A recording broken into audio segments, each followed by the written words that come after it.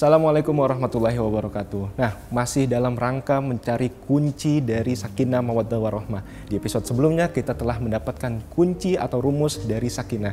Nah, selanjutnya kita akan mencari tahu lebih dalam tentang mawaddah dan rahmah. Sudah bersama kita, guru kita bersama, Buya Yahya. Assalamualaikum warahmatullahi wabarakatuh. Assalamualaikum warahmatullahi wabarakatuh. Buya, setelah kita tahu dari rumus sakinah dan detailnya Buya, bagaimana dengan mawaddah Buya? Apa kuncinya atau apa yang harus kita lakukan di dalam pernikahan ini Buya? Bismillah. Alhamdulillah wassalatu wassalamu ala Rasulillah Sayyidina Muhammad ibn Abdullah wa ala alihi wa ashabihi wa mawalah amma ba'd. Uh, mawaddah ada sakinah dan sebetulnya ada keterkaitan. Apakah mawaddah itu buah daripada sakinah atau sakinah itu buah dari mawaddah? Mungkin dua-duanya.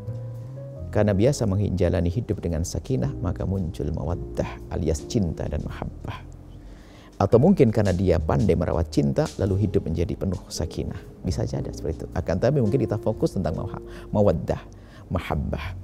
Bagaimana kita menjalani rumah tangga itu memang betul-betul dengan cinta. Biarpun semula Anda tidak punya cinta. Maka tugas kita adalah di rumah tangga kita adalah bagaimana menumbuhkan cinta. Benih cinta tentu sudah ada. Benih cinta ada. Istrimu adalah umat Nabi, suamimu adalah umat Nabi. Apakah tidak bisa kita jadikan itu benih yang paling luar biasa untuk kita tumbuhkan menjadi sebuah pohon cinta yang dahsyat. Kemudian setelah itu apa? Kita pandang pasangan kita adalah sebab keridoan Allah kepada kita. Syahwat yang semula adalah hina tapi menjadi tersanjung halal. Maka di dalam menjalani rumah tangga kita harus ini rumusnya pandai pandai mencari atau menghadirkan sebab tumbuh suburnya cinta dan menghindari dari hal-hal yang menjadikan sebab kropos dan runtuhnya cinta. Sehingga mungkin sekali dalam menjalani rumah tangga orang itu belum belum ada cinta dan memang seharusnya seperti itu. Artinya dalam pernikahan itu begini rumusnya juga untuk berbicara tentang menyuburkan cinta. Bangun cinta di atas pernikahan, jangan membangun pernikahan di atas cinta.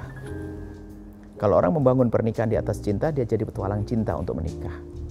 Akan tetapi dalam Islam ada membangun cinta di atas pernikahan. Cari pasangan, bisa kita bisa milih semaksimal mungkin. Nggak diterima ini pindah sebelahnya, nggak pindah ini sebelahnya, sampai pilihannya. Belum ada cinta cinta yang spesial itu. Baru setelah ketemu dia calonku, orang baik, keluarga baik, nasab baik, ini baik, baru saya menumbuhkan cinta, bangun cinta di atas pernikahan. Artinya bisa saja seorang menikah memang belum ada cinta yang tumbuh secara cinta spesial. Baru saat itu bagaimana kita menumbuhkan dengan sapaan yang indah, tegur sapa yang indah, rayuan yang halal, dan seterusnya. Termasuk cumbu rayu dan sebagainya, menghilangkan kekasaran. Itu kan harus menumbuhkan cinta baik. Mungkin juga ada cinta yang sudah tumbuh.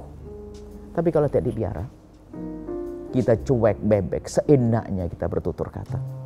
Akan kropos itu cinta. Maka dalam merawat cinta di samping kita harus menyuburkan, tapi kita harus menghilangkan dari hama-hama penghancur cinta. Hama penghancur cinta. Dan bisa saja hama itu dari luar, hama dari diri kita sendiri. Akhir-akhir ini yang selalu kami hadirkan hama dari dalam. Saya tidak bicara hama dulu. Hama dalam adalah hama dari hati kita yang telah kotor karena pandangan. Biarpun semula sangat mencintai pasangannya, seorang suami yang sangat dicintainya, cuman perempuan dipandangnya kotor, suka nonton film porno, sehingga merendahkan. Yang dimiliki suamiku tidak seperti aku lihat. Sehingga tidak bisa menghargai. Sehingga kurangnya penghargaan menjadikan dia sendiri akhirnya memikir yang lainnya. Tiba-tiba mungkin seorang tampak soleha, dia melakukan zina. Atau seorang laki-laki pun demikian. Maka akhir-akhir ini kita bicara tentang tontonan haram. Itu adalah dari dalam, rusakan kita. Tapi kalau orang menjaga mata, akan semakin terjaga cintanya. Istrinya semakin indah. Sama suami yang punya suka nonton tontonan yang kotor dia. Pertama kali yang dinilai tidak indah adalah pasangannya. Maka kalau Anda seorang suami mengajak istri Anda nonton film kotor, Anda telah bodoh karena apa? Anda telah menunjukkan kepada istri Anda untuk menilai bahwasanya di sana lebih bagus daripada yang aku punya. Karena itu film. Awal kehancuran di sini. Sehingga seorang perempuan ini termasuk akhirnya kita bicara tentang penghancur cinta adalah film porno. Karena apa? Seorang sudah dengan hayalan, sudah tidak indah dengan di alam nyata. Dan itu akan mentalnya akan rusak. Itu bahaya sekali. Sehingga yang halal jadi tidak indah, yang dirindu yang haram. Sehingga bisa berkembang seorang perempuan yang katanya solehah, dia tidak puas dengan tontonan, dia pengen yang hidup, masuk channel yang bisa melihat siaran langsung. Bahkan mungkin bisa saja tukar menukar foto dengan orang lain sementara punya suami yang sangat soleh atau punya istri yang sangat soleha. Dia tukar menukar foto, foto nggak hidup, pengen video callan. Akhirnya apa? Semuanya sampai terjadi, dia lupa bahwa saya ada yang halal. Ternyata ada yang dari diri kita sendiri. Maka apa rumus menjaga cinta yang sudah ada? Apa tadi? jaga mata kullil mu'minin yaghuddu min absarihim. Katakan pada kaum pria untuk menutup matanya agar semakin indah pasangannya. Wa kullil mu'minati katakan pada para wanita yaghuddna min absarihinna agar menjaga matanya agar semakin indah di pasangannya. Hari ini kerusakan-kerusakan terjadi perselingkuhan dan sebagainya dimulai daripada liar tontonan. Kalau Anda termasuk golongan yang pernah nontonnya tidak baik, Allah Maha Kasih, tinggal Anda menutup. Anda minta ampun dan selesai, saya tidak boleh nonton lagi itu.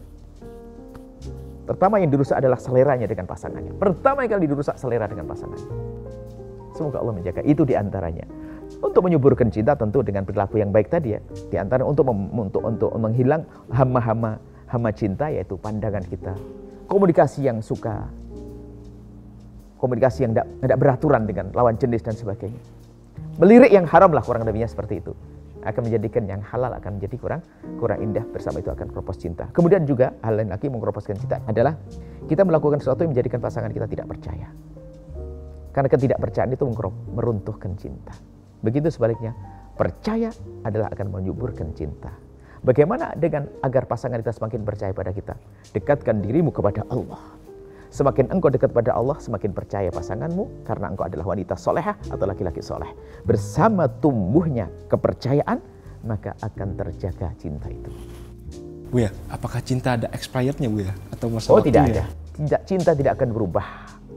Cinta tidak akan hilang. Yang ada adalah berubah. Berubah bentuk. Seorang ibu yang tiba-tiba memukul anaknya bukan benci, tapi karena cintanya yang semula dari pelukan berubah menjadi cubitan karena anaknya nakal. Cinta seharusnya tidak boleh berubah kalau karena Allah. Tapi cinta bohong, cinta bohong berubah-ubah. Cinta tidak akan berubah sampai masuk surga. Hanya berubah bentuknya saja. Sehingga seorang suami mungkin marah kepada istrinya bukan karena dia benci, tapi karena dia cinta karena istrinya melakukan satu kesalahan. Tapi harus ada rambu-rambunya dong. Kalau itu cinta. Bagaimana tuh Bu ya rambu-rambunya? Makanya kalau marah pun ya, marahnya beraturan bagaimana? Cara Islam marah. Marah harus ada dong. Orang yang nggak punya marah itu adalah juga kedunguan. Marah yang diatur oleh syariat. Sehingga marah yang diatur oleh akal kita. Yang tidak punya marah, tidak punya cemburu kepada istrinya yang dibawa laki-laki, the youth. Bukan oh sabar, enggak, ada rambu-rambunya. Cuman yang nggak boleh brutal, tahawur, ngawur marahnya. Tempeleng sana, tempeleng sini dan sebagainya. Istri juga cacami ke suami gara-gara kesalahan suami. Enggak. Jadi di saat kita jadi tadi kalau memang betul karena cinta dan itu aroma cinta, maka tentu marahnya pun bisa dibaca kok. Mungkin seorang istri akan, aku kangen kau marah ya suamiku. eh? Aku kangen kau marah kepadaku. Kenapa akhirnya kau tidak pernah marah? Biasanya marahmu itu terhitung setiap hari ini apa? Ada irama sebenarnya keindahan dalam cinta. Indahnya cinta. Kita punya madhab dalam Islam madhab apa? Dengan cinta duka nestapa akan jadi indah bukan madhabnya orang yang gagal bercinta, cinta akan semakin indah dengan duka nestapa. Oh enggak dong. Baik. Masya Allah. Nah, kita sudah mendapatkan kunci dan rumus dari mawadah. Kita selanjutnya akan mencari tahu bagaimana makna dan kunci dari rahmah. Masih bersama kita Bu Yahya, nantikan di episode berikutnya. Jangan lupa untuk subscribe dan follow sosial media Nabi TV. Sampai ketemu di episode berikutnya.